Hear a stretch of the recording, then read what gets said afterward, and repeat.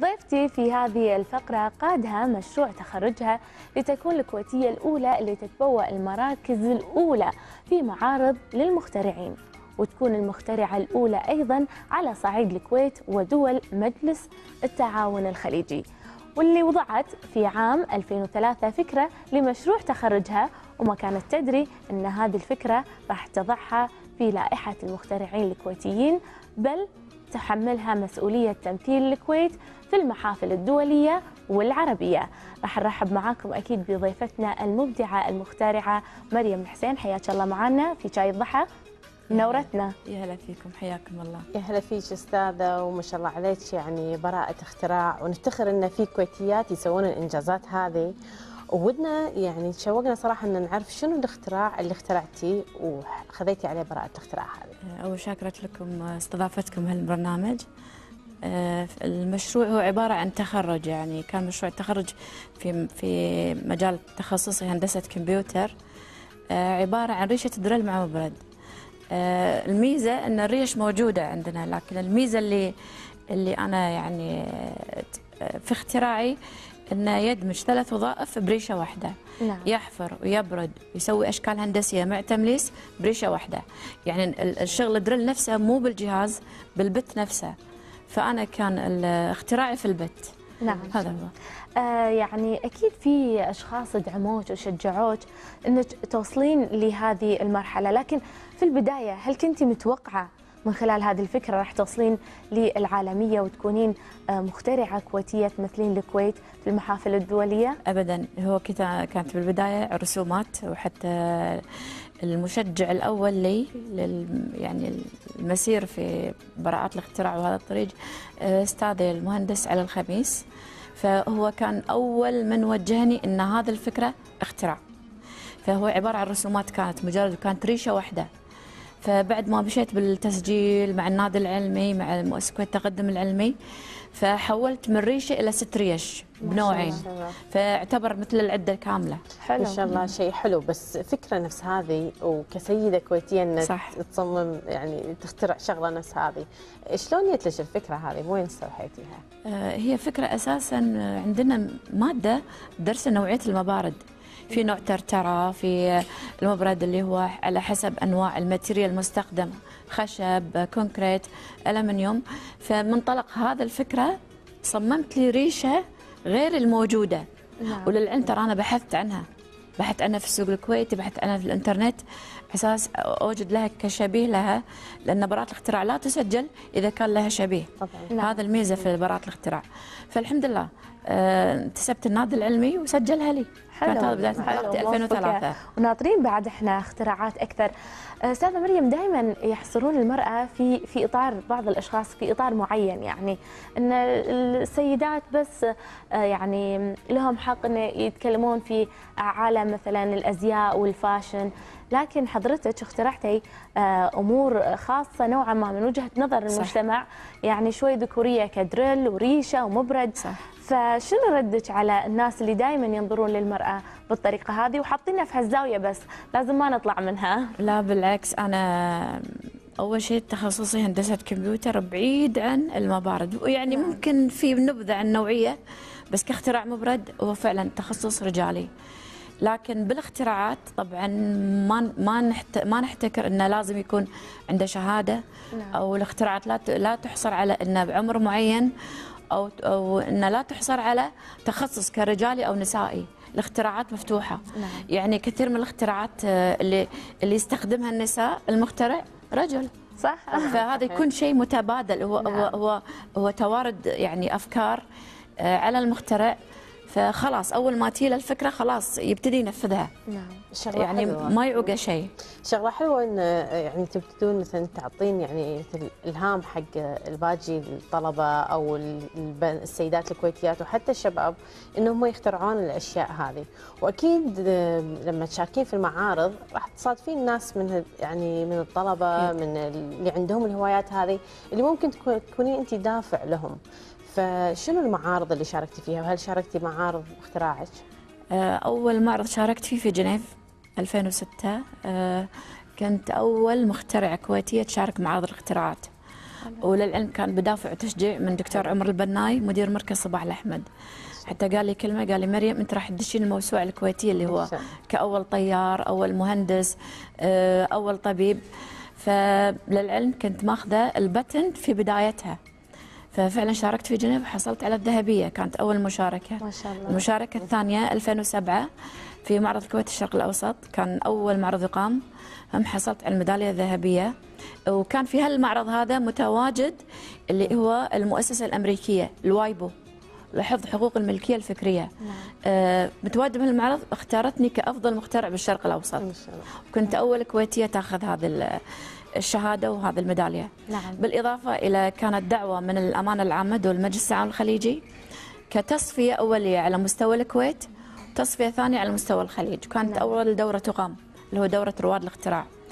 آه، فزت المركز الأول على الكويت وفزت بلقب مخترعة الكويت الأولى.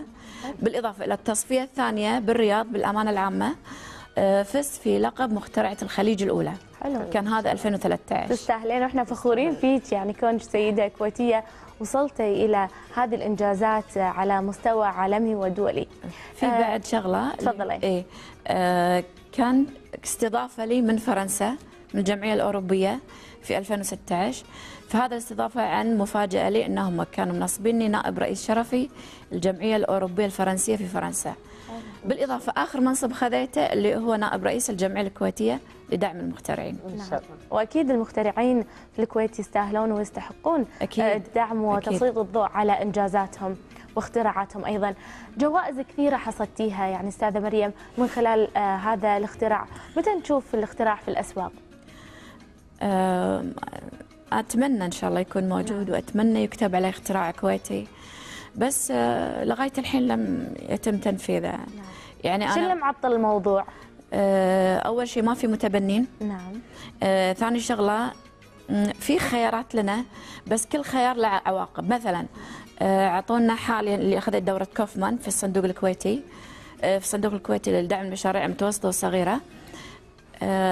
يعني دراسات جدوى على إن نسب معينة إحنا نحط. يعني إحنا نتمنى انه يساعدونا بهالشيء. نعم. يعني إحنا صاحب فكر. أنا صاحبة فكر. أنا ما عندي أحط مع مشروع 20% هذه شغلة. الشغلة الثانية مثلا آه، أنا صاحبة فكر لكن مو صاحبة دراسة سوق ودراسه جدوى. يعني المشكلة إن في عندنا خيارات بس كل خيار عندنا في مشكلة فيه. ما نقدر نتواصل. بالإضافة إلى ما في متبنين من الكويت. نتمنى الامانه. يكون في تم يعني متبنين طبعاً. لأن أكيد هدفها أستاذة مريم كان إن تشوف هذا المنتج الناس يستخدمونه. ويكون متوفر في الأسواق وأتمنى لأن كل معرض أشارك فيه دائما جهول الكلمة إذا صنعتي إحنا شرايين. فأتمنى انه يتم تصنيعه إن بالكويت. مو برا الكويت إنزين أستاذة مريم الحين الكويت يعني قاعد تدعم المخترعين قاعد نشوفها تهتم فيهم وتدعمهم يمكن التمويل هذا يكون يكون من أطراف ثانية لكن صح. كدعم من دولة الكويت وتكريم لكم إيش رأيك بدور الكويت بدعم المخترعين؟ آه، النقطة الأولى الدعم للمخترعين متواجد الحمد لله في النادي العلمي مؤسسة كويت التقدم العلمي بالإضافة حاليا من 2010 مركز صباح الأحمد للموهبة والإبداع ففي دعم كتسجيل براءات الاختراع طبعا على حساب الدولة. في دعم كمشاركاتنا في خارج الكويت طبعا مشاركات الأمانة لا بالأمانة مشاركة فرنسا على حسابي. بس ك سوري يعني ك اللي هو في جنيف كان على حساب اللي هو الكويت. ال- بالإضافة إلى أن يعني ك بروز دورنا في الاختراعات اللي في مجال المعارض الاختراعات الدولية كان عن طريقهم. آه، النقطة الثانية اللي هو كت- كتكريم آه، لم نحصل على تكريم. أنا بالنسبة لي أتكلم حصلت أول تكريم لي كان من آه، محافظة حولي وتحية للشيخ أحمد النواف. اي والله يعطيهم العافية. كان تكريم في فبراير. للمنصب نعم. آه، كونك نائب رئيس الجمعية الكويتية لدعم المخترعين آه، المخترعين في الكويت آه، يعني هل أعدادهم في ازدياد؟ وشلون اهتمامكم كجمعية آه، يعني في احتواء آه، هالمخترعين والمبدعين عندنا في الكويت؟ آه، بالنسبة لجمعيتنا هي يعني جديدة الانشاء في 18 12 2016 آه، الجمعية. طبعا انشاناها في طور شنو؟ نبي نبرز دور المخترع الكويتي. نبي آه، نحقق نحقق انه هو شنو؟ المعلوم يعني في معلومة أحب أوضحها. المخترعين دائما يحبون التشجيع المعنوي طبعاً. قبل التشجيع المادي. فإحنا ما أقول نفتقره بالعكس بس إحنا نحتاجه. إحنا نحتاج هذا التشجيع. فإحنا دور الجمعية أول شيء نبرز دوره نبرز اختراعاته بالإضافة إلى إن أنا متواصلة مع جهات خارجية برا الكويت راح نربط المخترع الكويتي بالمخترع اللي هو من جميع الدول سواء العربية أو غير العربية عن طريق وزارة الشؤون طبعا بموافقاتها طبعاً. طبعا فبالاضافه نبرز اختراعاتهم يعني أوكي أنا أخترع وأخلي اختراع أخذ عليه شهادات وش الفائده؟ طيب شو اللي يثبت لي نجاحه غير لما يتنفذ؟ طبعا ممكن هذه الجمعية تفتح أبواب إلى تسويق الاختراعات الكويتية. شغلة حلوة إن تتسوق الاختراعات وتصير في اختراعات باسم كويتيين والحين اختراعك الأولي ما شاء الله يعني نجح وايد أيوة. ما فكرتي تخترعين شيء ثاني أو ببالك فكرة لقدام حتى لو ما تقولينها لكن هل عندك فكرة لقدام الاختراع انك تبي تسوينه؟ أه والله في فكرة بس كنت أتمنى يعني هي فكرة في يعني في بعيد عن مجال تخصصي هي مادة طبيعية لحشوات الأسنان والتجميل. نعم بس المشكلة اللي واجهتها إنه ما في بيبان تفتحت لتحليل هذا الم... يعني ما راح أذكر أحد بس الأبواب ما تفتحت لي ان أسوي تحليل هذه المادة فاضطريت ان احلل المادة في البيت بس هل يعتمدونها؟ اي صح ففي اختراعات بس أنا ما أقدر أكود عليه اختراعات نعم. هو نجاح الاختراعات مو بالكثرة نجاح الاختراعات بتنفيذ الاختراع نفسه صح.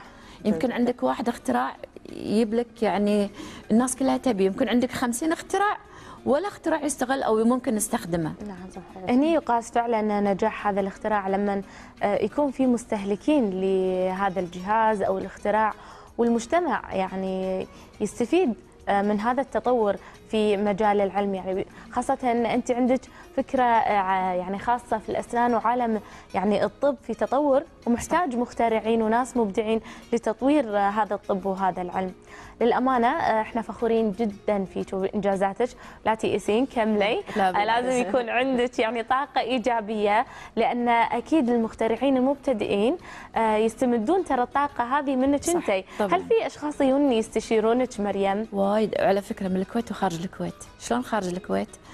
آه وأنا أحب يعني أطلب من خلال هالبرنامج. آه سويت مشروع على مستوى الدول العربية. نعم. مشروع منظمة في العلم. والبحث والاختراع. آه في كان ترشيح إن كل دولة عربية كان لها ممثل لها في هذا التجمع. فرشحوا الكويت إنه يكون المقر الدائم لهذه المنظمة. سويت الملف التأسيسي وكله بس أتمنى الجهات المختصة يعني إنها تساعدني تفتح لي الأبواب إن أنفذ هذا المشروع. بالإضافة الآن متواصلة مع وزارة الخارجية أنا مو ماشية بروحي فأتمنى الأبواب تفتح لي. آه، بالنسبة للمخترعين خارج الكويت من السعودية آه، من عمان آه، من الإمارات دائما يستعينون فيني يعني أبى أسجل اختراعي. يعني حتى السعودي السعودية يتواصلون معي نعم. يبي يسجلون اختراعاتهم بالسعودية. فأنا طور إن أنا متواصلة مع الأمانة العامة مع جميع الدول العربية نعم. وحتى الأوروبية فكنت أساعدهم في إني أوجههم أوصلهم بالشخص المختص حلو يعطيك العافية أستاذة مريم استمتعنا بالحوار وياك وايد ونتمنى تكونين دافع حق كثير من الشباب إنهم شاء الله. يعطون نعم. اختراعات أحسن وأحسن شكرا لك أستاذة مريم الحسين أول مخترعة كويتية معنا كانت في الاستديو لكن من خلال هذه الفقرة مع زميلتنا أسماء سيف راح نشوف أول ميكانيكية كويتية صاحبة جراج. التفاصيل راح نتابعها في هذه الفقرة.